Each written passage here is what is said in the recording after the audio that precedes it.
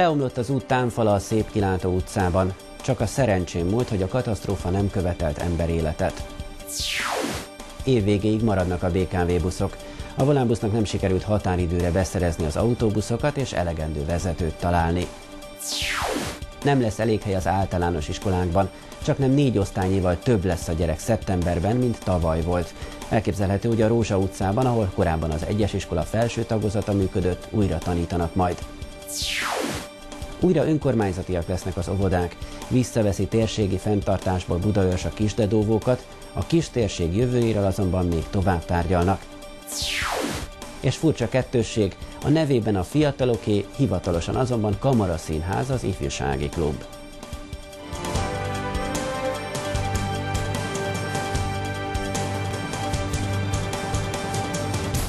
Leomlott az út támfala a Szép Kilátó utcában. Jó estét kívánok! Csak a szerencsének köszönhető, hogy a katasztrófa nem követelt emberéletet, és egyetlen lakóház sem sérült meg.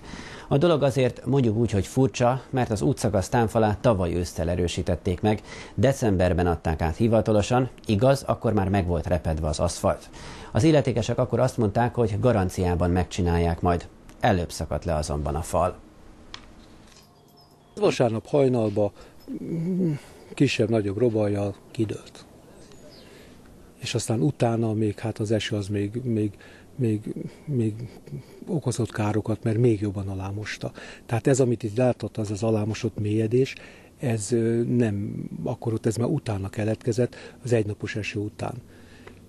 Hát is várható, hogyha tovább esik, mint amit mondta a meteorológiai időes előrejelző, hogy akkor még jobban alámos, és fél, hogy kifordul az egész kőrakás, ami, ami hát beletrakva. Elvileg jó lenne, tetszik, mert természetbarát meg minden, csak, csak kihagytak egy olyat, hogy nem szigetelték alá, és nem vezették el alól a csapadékvizet. Nem sokon múlott a Szépkilátó utcában, hogy nem történt nagyobb baj vagy katasztrófa. A leomló támfal csak csodával határos módon kerültek ki a lakórészeket, és nem követelt emberéletet. A lakók már többször jelezték a problémát, csak eddig nem igen hallgatta meg a panaszokat senki. Ezt az útszakasz megerősítést megcsinálták tavaly télen, vagy tavaly ősszel. 2012. december 12-én megtörtént a hatósági átadás, és hát akkor jeleztük már, hogy az aszfalt felülete be volt repedve. Azt mondták, hogy majd garancián belül kiavítják. Eltelt ez a 108 nap, leszakadt az út, illetve a melletti rézsű. De ez nem volt előzmény nélküli, mert volt egy fellebbezés, amiben, amiben azt sérelmeztük a másik szomszéd együtt, akinél szintén támfal készült, hogy nem vezették el a csapadékvizet a kövezett támfal alól. És lényben ezt a vizet, ezt nem az, hogy bevezették, de saját magától bekerült a rézsű mögé. És hát ez okozta ezt, a, ezt az omlást, ezt a sérülést. A lakók a tervekkel kapcsolatban több kifogást megfogalmaztak, de az érveiket nem fogadták el, és az eredeti elképzelések szerint építették meg a támfalat. Az engedélyeztetési eljárás folyamán ezt a rajzot megkaptuk, ezt megnéztük, és az volt az első észrevételünk, hogy ami lépcsőzetesen kőrakás készült maga ez a támfal, hogy alatta a csapadék víz elvezetése nem történt meg. Tehát ez a rajzon egyértelműen látható, hogy semmiféle vízszigetelés nincs, illetve a felgyűlendő csapadékvíz, ami összegyűlt a köveken keresztül, nincs kivezetve a szabad rézsűre. És ezért történt a fellebezés, amit el is utasítottak, és hát ennek mondom a következménye valószínű ennek a támfalnak az omlása. A Frankhegyi részönkormányzat illetékese már jelezte a gondot az önkormányzat műszaki osztályán, bízva abban, hogy gyorsan intézkednek, és hatékony megoldást találnak a további omlás és baleset veszély megakadályozására. Itt már a korábbi években is folytak támfal megerősítések, itt mögöttem látható kétféle módszer, és ahol az omlás történt, az egy harmadik módszer.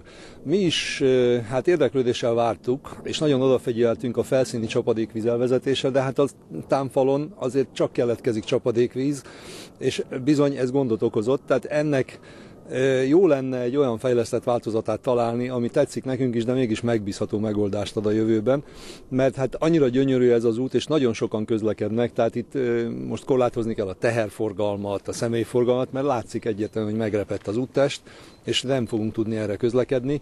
Azt szeretnénk, és azt várnánk, hogy egy belátható időn belül történjen meg ennek a javítása. Én szerintem javítható is, de hát ez nem az én tisztem megmondani. Sajnos az esőzések után az úton több helyen keletkeztek problémás gócok. Ezeknél nagyon gyorsan lépni kell a nagyobb baj elhárítása érdekében. Januárban szakadt le ez a partfal, ugye többen érezték nekem, hogy kövek zúdulnak le itt az útról. Ezt a önkormányzatnak ugye jeleztem is többször levélben, de nem írtak vissza. Ugye a BTG a hókotrójákkal se fértek már le nagyon, többször ezt jelezték a környéken lakókkal is. Ugye a környéken visszaállító szokott itt járni, és abból eredít nekünk az ivóvízünk, és ők meg hogy ő se fognak ugye följönni itt, mert hát nekik se férek természetesen a kocsijuk. Mint kiderült, az érintett területen csak részben tud az önkormányzat segíteni, mivel az útszakasz egy része a Pilisi Parkerdő ZRT tulajdona. A Frankhegy területén a további e, ilyen partfal leszakadásokat azt e, hálós, vagy pedig ilyen rézsustabilizációs megoldással fogja az önkormányzat kezelni. Ezen kívül sajnos még több helyen a Szépkilátó utcában az esőzések nyomán keletkeztek hibák. Ennek egy kis része garanciális jellegű, de ezt a kivitelező azonnal ugye vállalta, illetve hát banki pénzletéte van évek, több évre az önkormányzatnál, és még egy szakaszon bekértünk ajánlatot a, egy újabb támfal szakasz tervezésére, mert hát sajnos egyszerűen ez a rész mozgásban van, és az időjárás, illetve hát a csapadék, leülő csapadék mennyiség függvényében sajnos ez várható, hogy az önkormányzatnak tovább, későbbiekben is majd be kell itt avatkozni. Hát ugye a most épült támfaltól kb. 10 méterre vagyunk, itt az út szegélyét készítették el, és hát szerencsére ez nem okozott akkora problémát, mint amit okozhatott volna, ha nincs ez a szegély. Korábban itt nem omlott a fal, de akkora esők voltak, illetve hát a szegély mellett is valószínűleg leszivárgott az egész. Tehát azért látható, hogy ezen az 50 méteres szakaszon is egy csomó probléma adódik, ott is, ahol nem történt munka, foglalkozni kell ezzel az úttal. Mindenképpen egy rendszeres felügyelet kell, illetve hát az önkormányzat bejelentésünkre, most itt lényegtelen, hogy kijelentette be, de Laci barátom szólt hétfőn, és akkor én már 10 óra, 11 óra körül láttam itt az önkormányzatot. Én remélem, hogy megfelelő statikus látta ezt, és hát egyrészt, ha szükséges, akkor azonnal intézkedés legyen, illetve hát mindenképpen azt várjuk, hogy ez egy egynyomsávos út, ez nem lehet zárva, tehát ennek egy viszonylag gyors megoldása kell. Kívtuk a talajmechanikus szakértőt, aki egyetemi docens és a hivatalnak egy keretszerződése van ilyen esetekre, hogy 48 órán belül szakvéleményben az okokat és a megoldásokat megismerhessük, illetve azóta már fölmérettük, hogy ennek a helyreállítása az milyen mennyiségi, illetve anyagi vonzatokkal jár, és hogyha így a szükséges adminisztrációk a hivatalba végigmennek, akkor a helyreállítás megtörténik. Szakértői véleményben az merült fel, hogy ennek a támfalat tartó föld tömegnek a víztelenítése, tehát a régi támfal, amit még ugye a tulajdonos épített, ennek a földrészűnek a víztelenítésére nem gondoltak. És hát, hogyha ez megalapozottá válik, akkor ugye hát kényszeríteni fogjuk a tervezőt, ha más nem jogi úton, hogy a költségviselésben vegyen részt. A károkat közben már felmérték, és a hibák kijavítását hamarosan elvégzik. Nem lesz elég hely az általános iskolákban, pedig nincs több gyerek, csak egy törvénymódosítás miatt többen válnak most iskoláskorúvá, mint amennyien például tavaly voltak. Csak nem négy osztálynyival több lesz a gyerek most, mint tavaly szeptemberben. A Klebersberg intézmény fenntartó azt javasolja, hogy indítsanak több osztályt az intézmények, csak hogy nincs hol. Elképzelhető, hogy a Rózsa utcában, ahol korábban az egyes iskola felső tagozata működött, újra tanítanak majd. Mindenről a múlt heti testületi ülésen volt szó.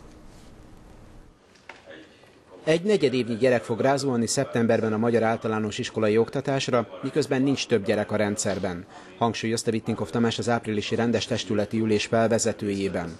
Ez még Budaörsön is megoldatlannak tűnő problémát jelent jelenleg. Budapesten, az agglomerációban és néhány nagyobb városban nem lesz elég hely az iskolákban az elsősöknek. Az iskolák egyelőre nem tudnak mit mondani a szülőknek, az osztálylétszámok emeléséről szóló törvénymódosítást ugyanis még nem fogadták el.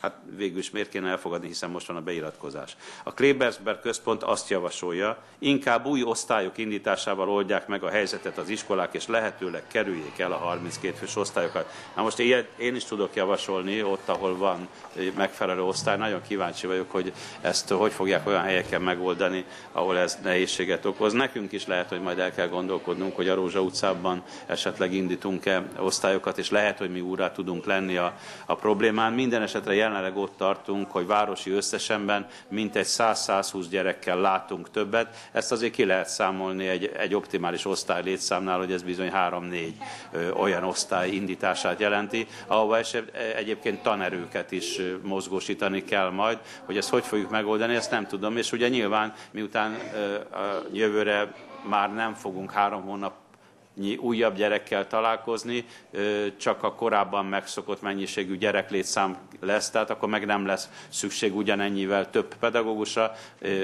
és osztálytermel, hanem az majd végig fog menni első, második, harmadik és így tovább. Szóval ilyen, ilyen problémák vannak. Ezzel szemben viszont az I.S. Gyula gimnáziumban nem sikerült elérni azt, hogy a vegyes képzés tovább működhessen, így ott egy értékes plusz tűnik el szép lassan felmenő rendszerben. Már ezek a felvezető gondolatok is jelezték, hogy nem lesz konfliktusmentes az áprilisi ülés. Igaz, a kistérségi társulás jövőjével kapcsolatban mindenki egyetértett azzal, hogy az óvodák kerüljenek vissza a város fenntartásába. Egyfelől, amiről kötelező nekünk dönteni, most ez az óvodák fenntartói jogállása. Ott én azt gondolom, hogy abszolút konszenzus van minden képviselő között, hogy visszaveszi az önkormányzat, és az önkormányzat fogja fenntartani július 1-től a Csicsergő óvodát is. Tehát ugyan nyertünk a pályázaton forrást, de a hivatal nekem megerősítette, hogy az NFÜ-nél tárgyaltak erről, és abban az esetben, hogyha ugyan a társulás nyerte a pályázatot, de hogyha az önkormányzat visszaveszi fenntartói jogokat, akkor is nyertes marad a pályázat, tehát nem esünk el uniós forrástól.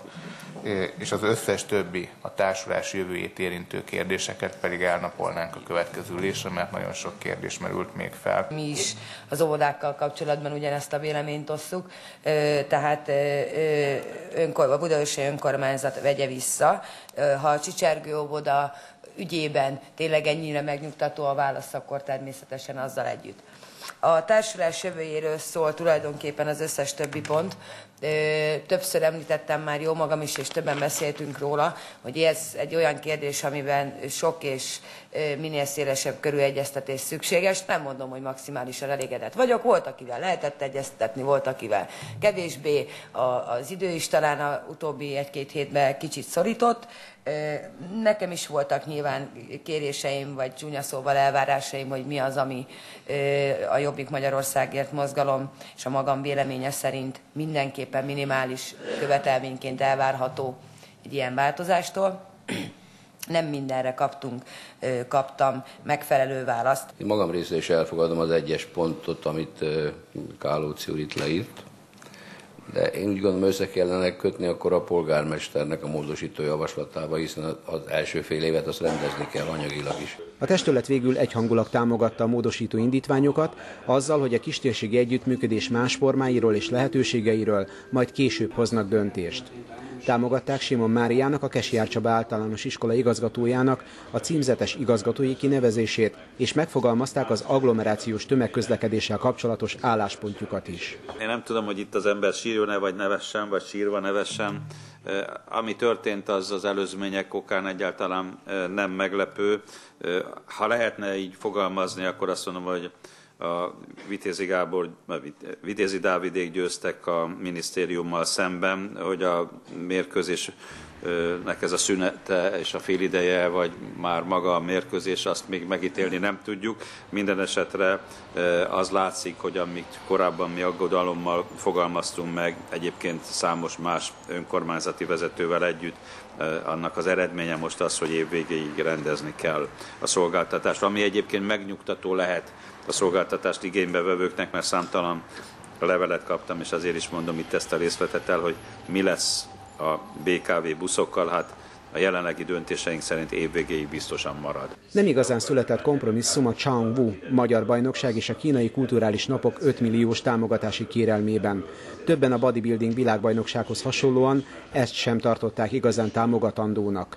Én rendelkezem bizonyos ismeretekkel kínai ügyekbe, és ugye azt hiszem tavaly is elmondtam, hogy ennek ellenére én ezt a bizonyos Csanvút egyszerűen nem tudom beazonosítani. Én három és fél évet dolgoztam Kínába, még a 90-es években, de bevallom, hogy ez nekem egy teljesen ismeretlen Há, mert a küzdősportokban nem vagy olyan jó. Kínában nagyon sok küzdő, küzdősport ág létezik, csak egy tartományban is megszámolhatatlan szinte ezeknek követhetetlen ága boga, ez egyik a több száz vagy több ezer közül vélhetően, azt hát pedig meglehetősen pikásnak tartom, hogy ezt ilyen kínai kulturális napokkal kapcsolják össze, mert hát a, a kínai kultúra azért egy négyezer éves kultúra, és ha már valaki kínai kulturális napokat rendez, akkor úgy érzem, hogy ezt megfelelő szakismerettel és a kínai kultúrában való el, elmélyültség alapján kellene megrendezni. Nem vagyok Csanvú szakértő, de ugye kéttelen voltam azért a Világos. témával foglalkozni, és tisztelettel jelentem, illetve felhívom a figyelmet arra, hogy bizony lassan el kéne kezdeni felülvizsgálni a sportról alkotott, a sportágakról alkotott véleményünket, hiszen megjelennek Magyarországon is olyan sportágak, illetve jelen vannak hosszú évek óta, amiket mi igazándiból nem nagyon ismerünk. De egyébként ezek tömegsportokká kezdenek válni. Tehát, hogyha Budaörsön működik egy ilyen egyesület, amely évek óta működik egy ilyen egyesület, országos rendezvényeket szervez, tavaly is szervezett nagy sikerrel, és egyébként itt voltak a kínaiak tavaly is, Uh, magas, magas szinten, voltak. igen, és az önéletrajzunkat is majd úgy kezdjük egyszer, hogy kisgyerekkorunkban nagyon szerettük a rist. Tehát, uh, szóval én azt gondolom, hogy egy, egy, egy ilyen kezdeményezést támogassunk. A problémám ott van, hogy lesz még itt egy olyan napirend, ahol az önkormányzat bridge-asztalokat, meg saktáblákat fog vásárolni, amire én poénból mondtam, hogy hát nekem is van egy hobbim, akkor alakítok gyorsan rá egy egyesület, és ha benyújtok rá támogatást, akkor ö, már én kinéztem néhány nagyon szép órát bizonyára, azt is meg tudom indokolni, hogy az milyen fontos lenne, hogy a budaörsi fiataloknak megmutathassam, mert hát olyan egyedi különlegességek, amihez tényleg hát az, a, a, nagyon nehezen lehet hozzáférni másút. És itt többen mosolyognak a teremben például egy olyan személy is mosolyog, akik egyébként remek olyan rendezvényeket szerveztek már magyar bajnokságokat is, amihez egy fillért nem kértek a várostól, és mégis nagyszerű módon lezajlott a sportcsarnokban. Tehát nem arról van szó, hogy baj az, hogy van ilyen rendezvény, hajrá, minél több. Csak, csak én azt, azt nem értem, hogy lassan Magyarországon már bárhol bármit megrendeznek, az Budaörsön lesz, és az összes bajnokság Budaörsön lesz, és mindent mi fogunk finanszírozni a testé építőktől kezdve a csámvón keresztül a meg tudom én min, min, min, meddig. Én a magam részéről ezt megszavazom, mert szavaztam már meg az idén olyat, amivel en, en, ennél kevésbé értettem egyet. Talán nem kellene a támogatásokból sportot űzni, pontosabban a közpénzeket elherdálni. Kérdezem, hogy ez az 5 millió forint, ami a támogatásként meg van jelölve, ez miért nem 3 millió, miért nem 8 millió, tehát ki tud rá választani, ez miért pont 5 millió, tehát mit akar ez, milyen költségvetés áll mögötte? Firkei Péter Fideszes képviselő a kérdésre jelezte, hogy az Egyesület is ugyanekkor összeggel támogatja a versenyt. A testület végül 8 igen, 3 nem és 4 tartózkodás mellett elfogadta az előterjesztést. Személyeskedésig fajuló vita a mentőverseny 350 ezer forintos támogatása kapcsán alakult ki igazán. Akkor, amikor minden médiumból lejön, hogy nyári gumival mennek a mentők, mert télen nincsen rá pénz, alig tudnak tankolni, nincsen megfelelő eszközmennyiség és minőség. Én bevallom őszintén ezt a pénzt szívesebben odaadnám bármilyen tárgyi eszköz fejlesztésre, mint az, hogy mentőversenyre elmennek a mentősök. Javasolnám, hogy a, a alapít, tehát az alapítvány, ez a mentésért alapítvány, ez ismét pályázzon a civil szervezetek pályázatán, amit ugye az önkormányzati költségvetés tartalmaz ebben az évben is. Ezért én nem javaslom ennek a támogatási kérelemnek a támogatását, megszavazását. Nem beszélve arról, hogy ugye alapítvány most bizottsági keret saját terhére kéri ezt a támogatást. Ha 350 ezer forintot szánunk az országos mentőszolgálat fejlesztésére, akkor szerintem nyugodtan lehetne az 5,6 millió forintot, amit a fogarasi cucor, sumér, sutyó, izé, mit tudom, szitja, micsodára adtunk ki, az 5 milliót a bodybuildereknek, a másik 5 milliót, amit most adtunk oda ezeknek a, a nem tudom kiknek, akkor ebből meg egész szépen lehetne, néhány a mentőautót föl is lehetne szerelni. Egészen döbbenetes gyerekek, ami itt most történik. És, és tényleg azt mondom, hogy hogy csungfu, kungfu, pingfu, tingfu, mit tudom én mi, a túróra 5-6 milliók röpködnek, mint a húzat, és akkor 350 ezer forintot részt tudjanak venni azok a mentők, akik ezen, ebben a térségben ezt a szolgáltatást ellátják. Ezen elkezdünk ilyen szinten szórakozni, ez szerintem vérlázító olyan, olyan szinten vérlázító, hogy, hogy én el is kezdek ezzel kapcsolatban lázítani. Szóval a, ne haragudjatok, nagyon szigorúan fogok fogalmazni, a pofátlanság teteje. A pofátlanság teteje, hogy tényleg mindenféle alá nem támasztható blind hülyeségre tízmilliók szállnak el, és akkor a, azért, hogy azok, akik az egészségügyi szolgáltatásban röhelyes pénzekért állnak helyt nap mint nap, akiktől elvárjuk azt egyébként, hogyha katasztrófa helyzet van, akkor a hülye intézkedéseket meg nem hozó hülyék helyett eljárjanak, azoknak 350 ezer forinton szórakozunk. Hát szégyelje magát mindenki, aki ebben a dologban ilyen szinten nyilatkozott meg. Most tényleg eljutottunk odáig, hogy, hogy elkezdtünk vitatkozni a biciklitáról. Tehát 350 ezer forintról van szó. Könyörgöm, ha most adtok 10 percet, összeszámolom, hogy hány millió forintot dobtunk itt tök fölösleges. Ha ezt nem fogja megszavazni ma a képviselőtestület, akkor továbbiakban egyetlen olyan támogatási kérdésről nem fogok pozitívan dönteni, mert egyszerűen bolykottot fogok bejelenteni saját magamnak a támogatási összegeket illetően, mert lesz ma még itt olyan, hogy tűzvíz, meg mit tudom én milyen akármicsoda, amit egyébként én jó rendezvénynek tartok, de nem összehasonlíthatóan azzal a feladattal, amit az itt ellátóknak és az ő részükre nyújtandó támogatással kapcsolatban most itt művelünk. Azt, hogy polgármester úr lenne jobb, ha egy kicsit visszafogna magát, azt majd a rendes hozzászólásommal elmondom.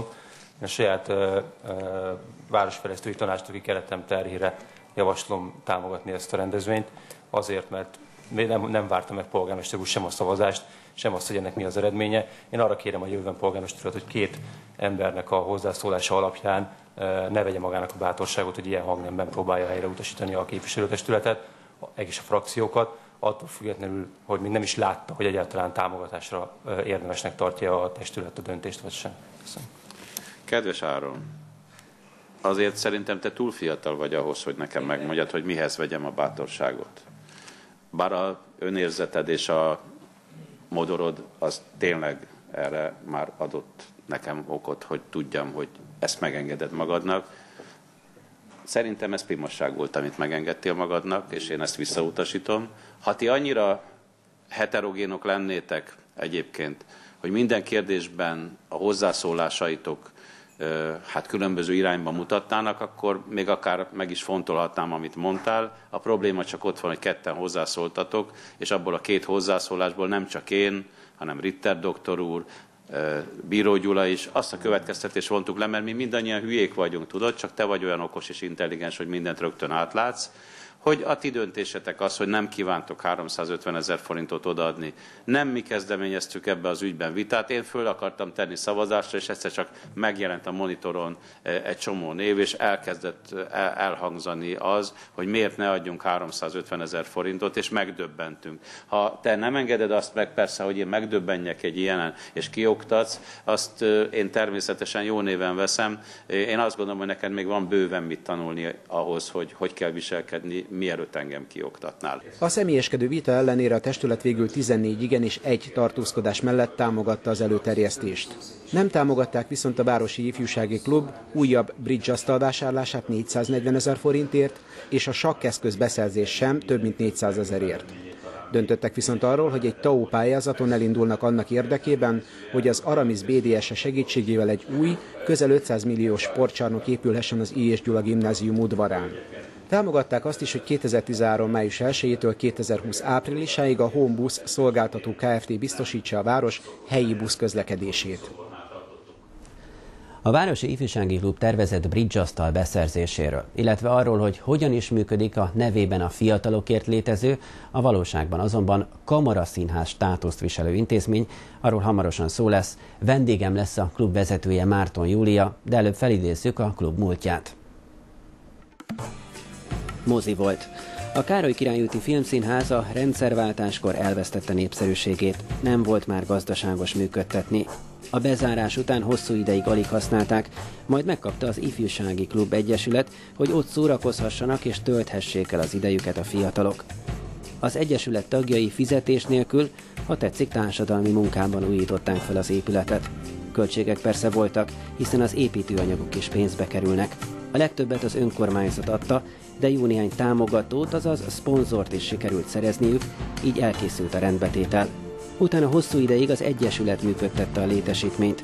Programokat szerveztek fiataloknak, és nem csak fiataloknak, de bérbe is adták a helyiségeket, amiből bevételük volt. És fejlődtek is. Felújították a mozigépeket, így filmvetítéseket is rendeztek, internetezésre alkalmas szobát alakítottak ki, szóval folyt a klubélet. Persze a működéshez anyagilag is hozzájárult az önkormányzat. Ebből támadt az igazi nagy vita, amikor a testület többsége kevesebb támogatást szavazott meg az Egyesületnek, mint amennyire szükségük lett volna. Válaszul a hét néhány napján bezárva maradt a klub. Erre azonban jött a viszontválasz, és az önkormányzat a többség szavazatai alapján nem adott anyagi támogatást, és úgy döntött, hogy amikor lejár az ingyenes bérleti szerződése az Ifjúsági Klub Egyesületnek, akkor menniük kell. Az Egyesület vezetője Mizsai Zoltán talán soha nem tudta feldolgozni a változásokat. Az intézmény elvesztése és a szervezet gyakorlati ellehetetlenülése után beteg lett és nemrég elhunyt. Az épület sem volt a legjobb állapotban, amikor visszakapta az önkormányzat, arra ugyanis az utóbbi időben már nem tudott költeni az Egyesület. Ezt is javítani kell. Ezért közpénzből felújították, és előbb a művelődési háznak, majd a budasi játékszínnek adták oda, vagy pontosabb úgy fogalmazni, hogy a felügyeletébe. Hivatalosan tehát Kamara Színház lett a Városi Klub, de az induláskor azt ígérték, hogy döntő részben ott újra az ifjúság kap majd teret és szerepet. Mindez mennyire teljesült? Milyen ma a Károly Királyúti Ifjúsági Klub? Hogyan, miből működik?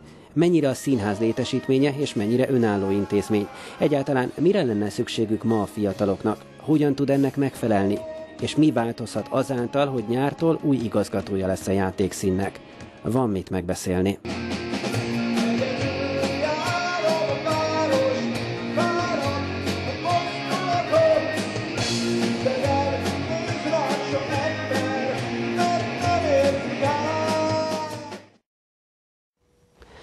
Márton Júlia tehát a vendégem, a Városi Ifjúsági Klub vezetője, kezi csokolom. Jó napot kívánom! Köszönöm szépen, hogy eljött. Városi Ifjúsági Klub, ez ugyan hivatalos neve, ugyanakkor pedig a színházhoz tartozik. Tessék szíves megmagyarázni nekem ezt a kettősséget. Mennyire az ifjúsági és mennyire a színházi ez a létesítmény? Hát azt kell, hogy mondjam ezzel kapcsolatban, hogy, hogy a maximálisan ugye a színházhoz tartozik, tehát ez az együttműködés, ez a mindennapokban elengedhetetlen, főként ugye a gazdasági része, hiszen maga a, a klub nem önálló intézmény, tehát gazdaságilag van egy külön költségvetése, de ezt ugye a színház teljes gazdasági osztályának a segítségével együtt tudjuk kezelni, és, és ebből folyólag, kifolyólag gyakorlatilag mindennapos a, az egyeztetés, a kommunikáció. Szakmai kérdésekben már egy picit bonyolultabb a történet, hiszen hiszen ugye az ifjúsági klub, mint egy közművelődési intézmény, egy picit más, mint ugye az előadó művészet, az, ami ugye a színház területén folyik, de, de nagyon sok ötlet, javaslat, támogatás jön az ő részükről, és hát arra törekszünk nyilván a színház vezetésével együtt, hogy, hogy egy, egy élő, zsibongó, aktív klubéletet próbáljunk megvalósítani. Miért a színházhoz tartozik az intézmény? Tehát, hogyha az a cél, hogy itt az ifjúság megtalálja maga szórakozását, akkor ezt nem biztos, hogy a színház égisz alatt kell megtenni, hiszen azért, ahhoz, hogy itt bulikat, rendezvényeket tartsanak, az nem színházi produkció.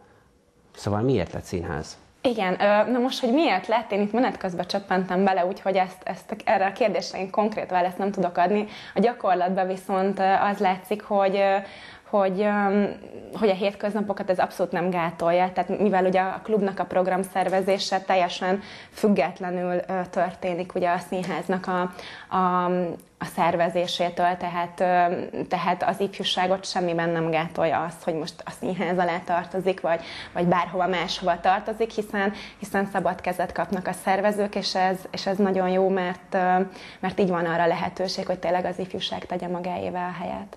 Nagyjából másfél éve irányítja az intézményt, ami előtt született meg ugye a döntés, hogy a színházhoz tartozik majd, és akkor azt lehetett hallani, hogy így sokkal jobbak a pályázati lehetőségek. De a pályázat az kifejezetten azért támogatja a színházat, mert a kamaraszínházi produkciókat támogatja. Tehát nem azt a fajta ifjúsági klubot, mint ahogy a valóságban működik a klub.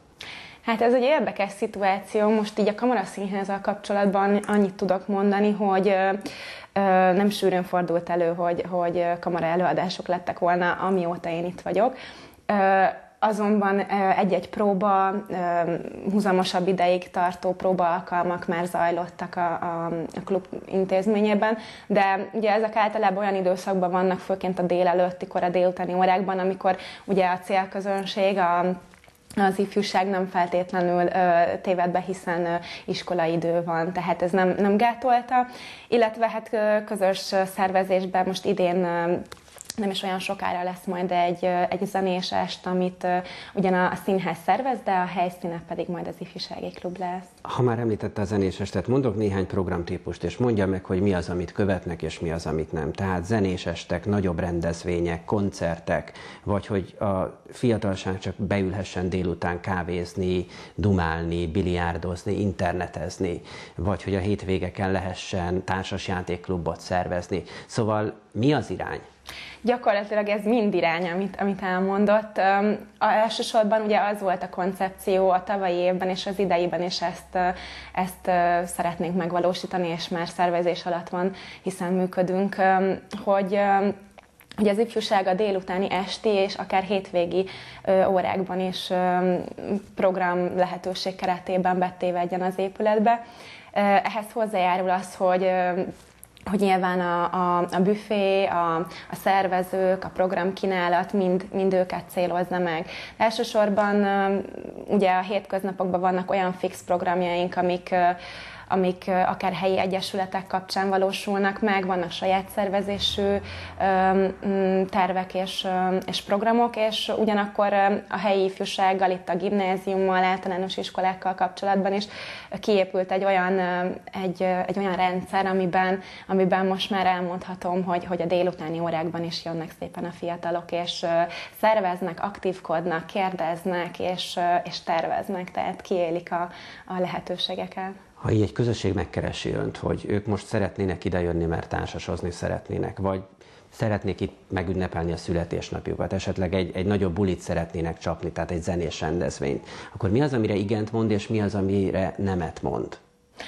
Igen, ez, ez egy kényes szituáció általában, mert, mert mióta, mióta ugye a színház alatt van a klub, és újra működik az intézmény, nagyon-nagyon sok a megkeresés, azt kell, hogy mondjam, hogy szinte minden héten történnek megkeresések budaörsi környékbeli lakosoktól, hogy, hogy van erre lehetőség. Na most a lehetőség az, az adott, viszont ilyenkor mindig attól függ, hogy, hogy az adott hónapban hogyan alakulnak a programjaink. Tehát nyilvánvalóan a saját szervezésű, előre fixált programokat nem ütheti ki egy, egy ilyen rendezvény, illetve az is szempont, hogy, hogy mikor, mikor történne a dolog, tehát milyen időintervallumban, hétvégére esne adott esetben, hiszen ugye az intézményben közalkalmazottak dolgoznak, és ugye a közalkalmazott alkalmazotti törvény elég szigorúan veszi azt, hogy ki mikor, hogyan, milyen munkaidőbeosztás szerint dolgozik, és, és nem szabad, hogy nyilvánvalóan túllépjük az adott keretet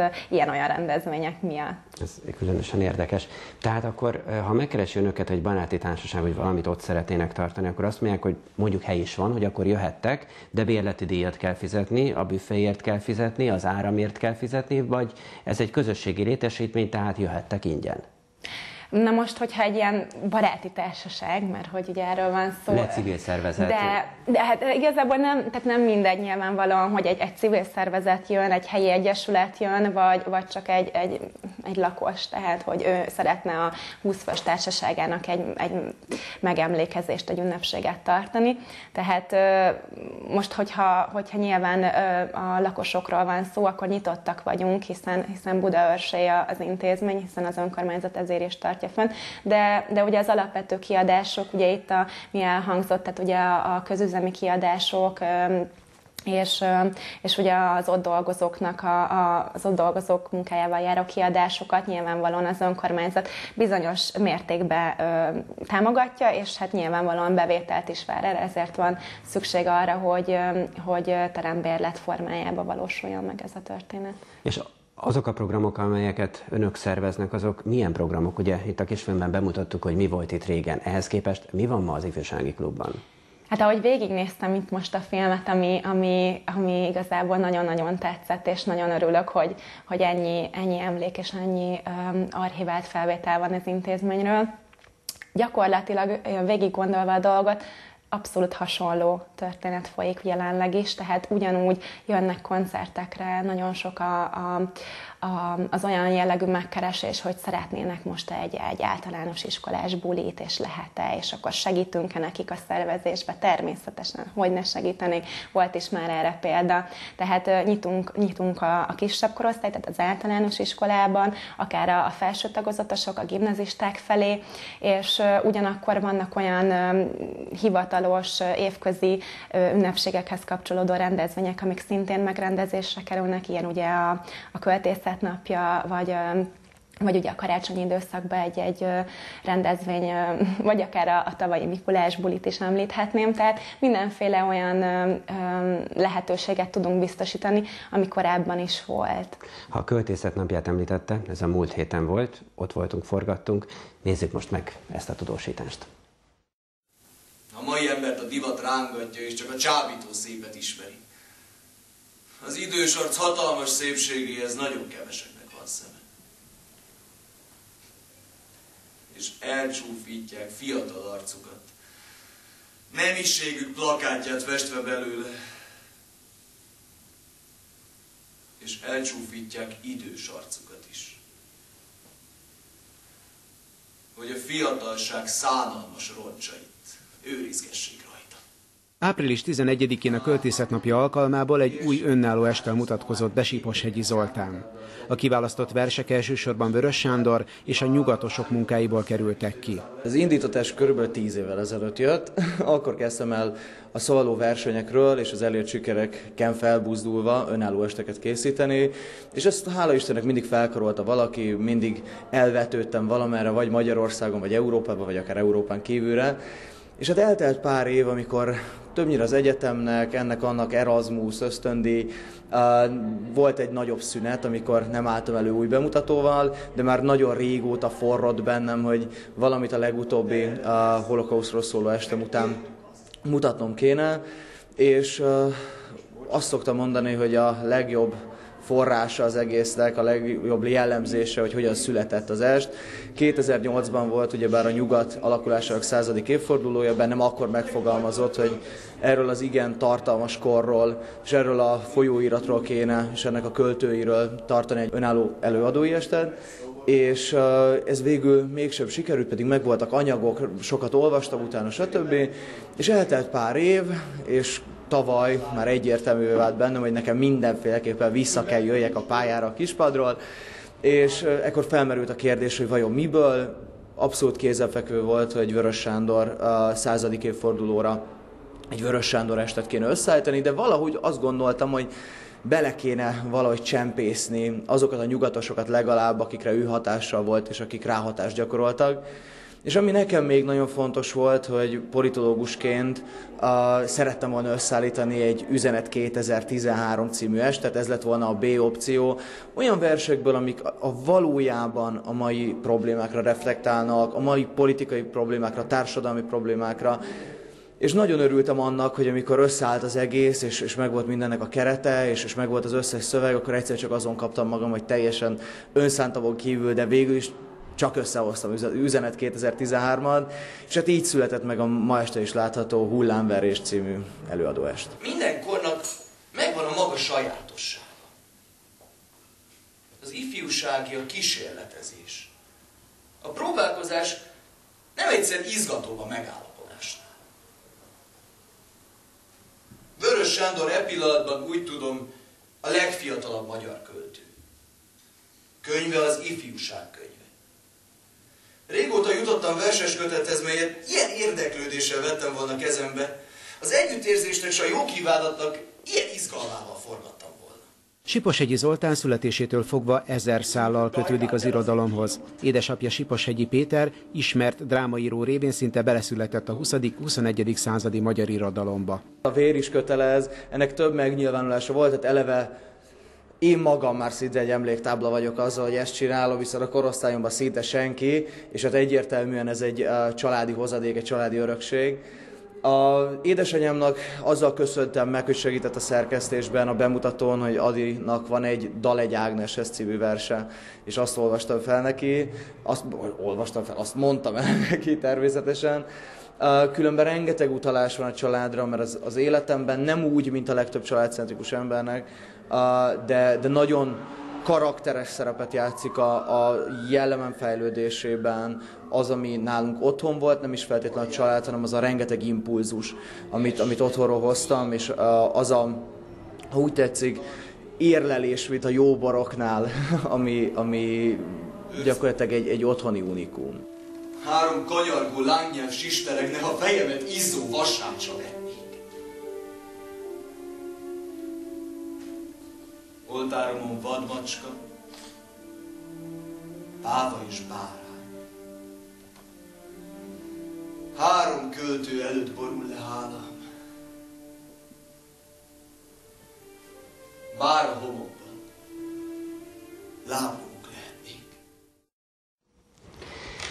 Itt van még mindig a stúdióban Márton Júlia, a Városi Ifjúsági Klub vezetője. Folytassuk a beszélgetést azzal, hogy a legutóbbi testületi ülésen több kéréssel is fordultak az önkormányzat felé. Volt, amit támogattak, és volt, amit elutasítottak. Az egyik legfontosabb, amiben egyetértés volt, az az, hogy az épület rossz állapotban van, a tetőszerkezetét fel kell újítani, mert beázik. A testület előtt egy olyan előterjesztés volt, miszerint ez nagyjából 55 millió forintba kerül, mindenki egyetértett azzal, hogy ezt a pénzt biztosítani kell, ugyanakkor kiderült, hogy erre egyelőre nincs fedezet, a költségvetésbe ezt nem tervezték be, tehát egyelőre a tervezésre van pénz. Mit kell csinálni a Városi Ifjúsági Klubban?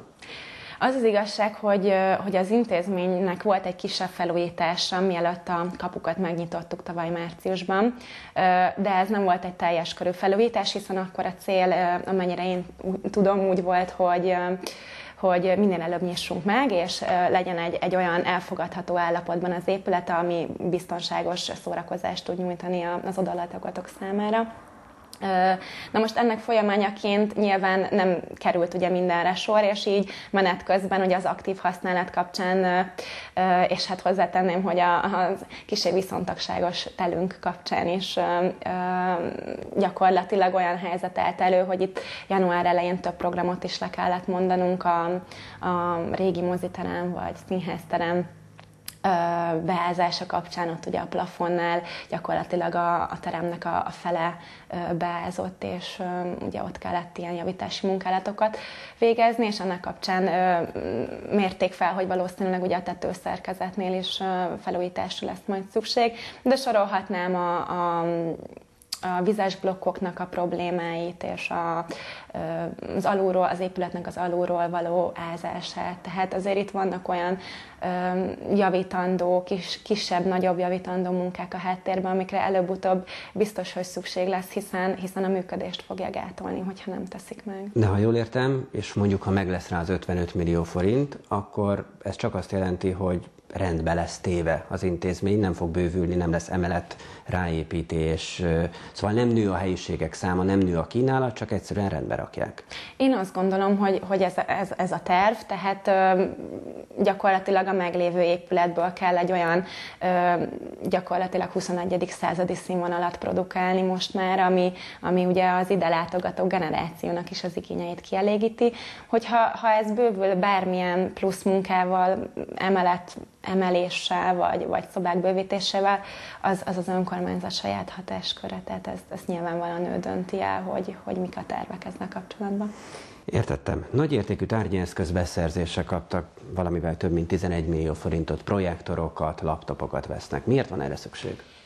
Hát erre nagyon nagy szükségünk van, ugyanis a, a tavalyi indulást követően ö, nem volt lehetőségünk ilyen nagyobb eszközöknek a beszerzésére, viszont a tervekben már akkor is, és most is szerepel, hogy, hogy szeretnénk egy színvonalas rendezvény lehetőséget biztosítani, a város számára, és hát nyilvánvalóan ehhez kellenek az eszközök, hiszen amikor az átadás átvétel megtörtént, akkor ugye az előző vezetés óta gyakorlatilag üres volt az épület, tehát minden olyan technikai eszköz hiányzott, ami, ami ugye előtte esetleg ott rendelkezésre állt. És akkor ez azt jelenti, hogy ismét lesznek majd számítógépek, és lehet ott internetezni, tehát lesz egy internetklub?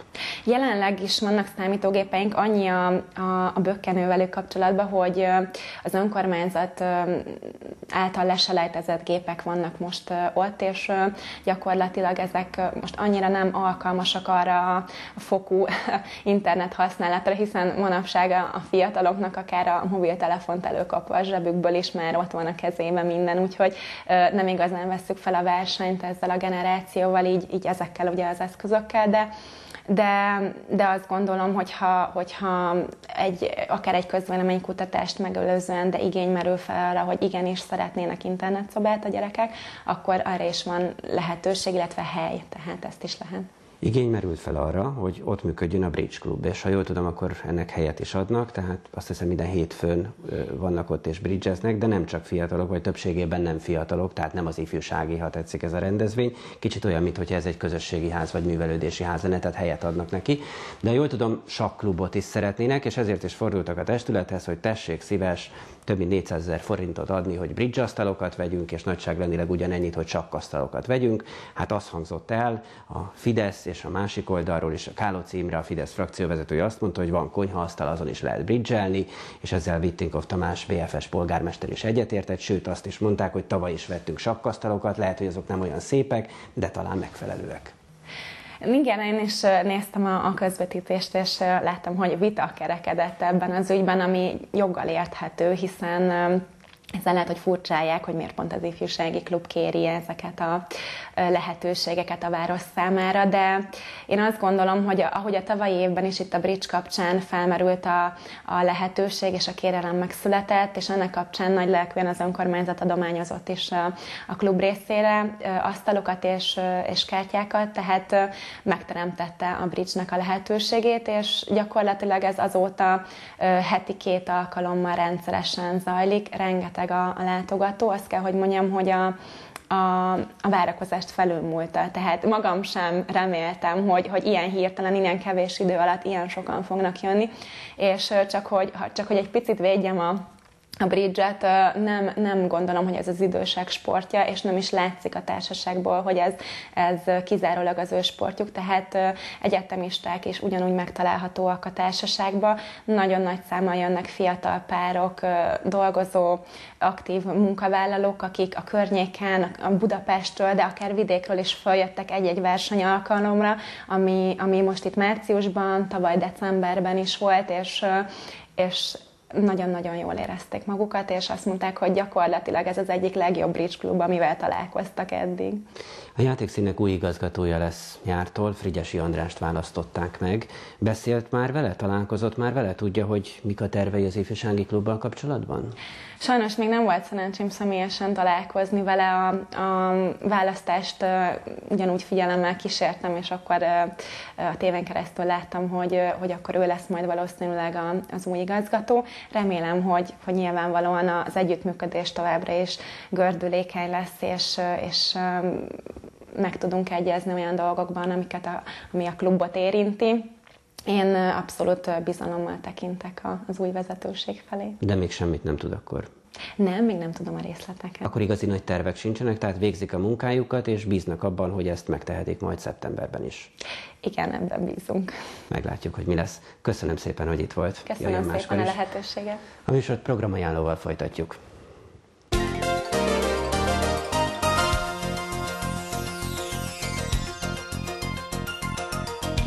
Felsőnán a Závod 2011 építészeti felmérő tábor címmel időszaki kamara kiállítást rendeznek a Heimat Múzeumban. A Városi Könyvtárban a héten tartják a költészetnapi programot. Sudár Anna Mária irodalomtörténész rendhagyó magyar órát tart klasszikus magyar irodalmi és kortárs művekből a szövegek vándorlásáról. Szerdán este fél hétkor. Budaörsi Anzik címmel Molnár Göbb Zoltán kiállítása nyílik a Művelődési Házban csütörtökön este. Új Dévavára épül címmel rendez irodalmi estet a Magyar Történelmi Szalon. Az est vendége Medvig Endre irodalomkutató és Szabó András előadó művész lesz, hétfőn, tehát a jövő hétfőn 18 órakor. Hüvelyk Panna látható az Operenciás Bábszínház előadásában a Művelődési Házban vasárnap 10 órakor. Aztán Ébredj Budaörs, ezzel a címmel rendeznek ingyenes tánc és zsírégető órát a Kultúrházban pénteken 17 órakor. Jó szórakozást! A programajánló után még egy programajánlat következik. Koppány Attila festőművész képeiből nyílt kiállítás a Városházán. A művész állítja, érvényes dolgot kell a kornyelvén mondani, ami szerinte rettentő nehéz.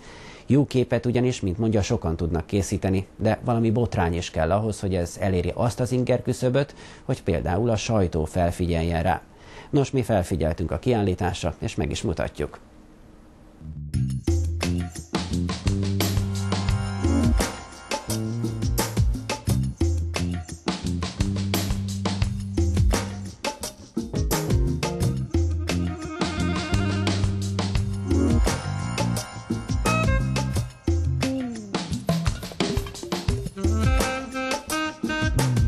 Szinte mindent megfestettek már, ami egy kereten belül képi felületen megoldható. Most ugye a régi, akár barlangrajzoktól kezdve a legapróbb, legrészletesebb, mondjuk fotorealizmusig. Tehát nyilván a kortás művésznek az a felelőssége, hogy érvényes dolgot kell a kor nyelvén mondani. Ez rettentő nehéz. Ugye minden stílus már megvolt szinte, amit el lehet képzelni. Egy angol művészettörténésznek olvastam egy elmés fejtegetését, aki azt mondja, hogy már nincsenek izmusok, nincsenek stílusok, ám bár lehet, hogy a szenzácionizmus az létezik, mint uralkodó eszme, és ebben van valami igazság, mert ma, ma már jó képet nagyon sokan tudnak csinálni. Ahhoz valami botrány is kell az esetek többségében, hogy ez elérje azt az inger küszöböt, hogy mondjuk sajtó vagy egyéb nyilvánosság elé kerüljön. És ez nagyon megtévesztő, mert nem mindig a minőség körül van a botrány, hanem valami gesztust, akciót, happeninget csinálnak, mondjuk elvágnak egy fürdőkádat vízzel telve keresztbe láncfűrésztel, és közben nem csapott nagyon segít az áram, ez már egy nagyon nagy dolog, de ez konkrétan meg is csináltak. Bár botrány vagy figyelemfelkeltő happening nem volt, ennek ellenére viszonylag sokakat vonzott Koppány Attila festőművész első budaörsi tárlata.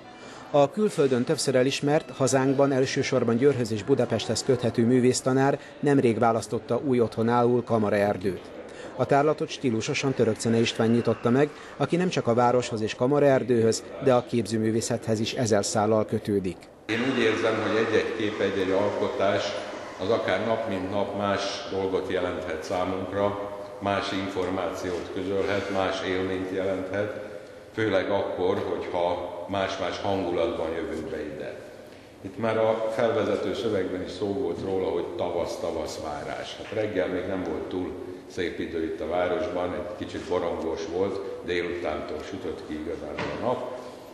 De amikor bejöttem reggel és megnéztem első körbe a képeket, így élőben is, nem csak fotón, akkor már sugározta ezt a tavaszt, és úgy gondoltam, hogy független attól, hogy ma milyen idő lesz, én remélem, hogy a közönség számára, az önök számára is ezt a tavaszt fogja sugározni. A kiállított munkák egy kisebb metszetet mutatnak meg a nagy közönség számára a sokrétű művész alkotásaiból. Ez egy lavírozott akril kompozíció. Itt a föld és ég viszony egyfajta fölfelé törekvésnek a, a szellemiségét próbálja ez a kép kifejezni, egy fehér alapon, ez a kicsit éteri, kékes, szürke, ez egy kicsit elvontá teszi a képet, tehát ez mondjuk az absztraktnak az egyik határ területe, de nem a hogy mondjam, nem a geometrikus absztrakt, hanem a lírai absztraktnak egy ága. Engem mindig foglalkoztatott a figura, bár az utóbbi időben inkább elvont képeket festettem, és hát néha úgy érdeklődéssel fordulok a klasszikus festészet által, akár bibliai jelenetekből, vagy máshonnan idézett örökemberi tartalmak felé. Hát itt most engem ebnél a képpárnál a Judit és Holofernes féle történet, ugye, amit sokan ismernek, izgatott, és ugye nekem az ugrott be, hogy szinte az összes korabeli klasszikus ábrázolás Juditot ugye egy tálcával ábrázolja, ahol már Holofernes levágott feje, és ott csorog a vér, és ez egy ilyen vérfagyasztó. Itt még a dolog nem dőlt el, itt ugye ők egymáshoz ugyan közel vannak, nem is egy képen. A feszültség azonban, ha megfigyeljük a két figurát, megvan. Ez az elő estéje a Judit féle akciónak talán, amit én próbáltam festői eszközökkel és egy ilyen ö, gyorsan felvázolt, gyors esetkezeléssel bemutatni. Hát kíváncsi vagyok, hogy mennyire tudnak a kortársaim erre rezonálni, mert hiszen hozzászoktak, hogy, hogy ugye reneszánsz és barokk kompozíciókban látják ezeket a dolgokat, ma, ma viszont más a vizuális kultúra nyelve.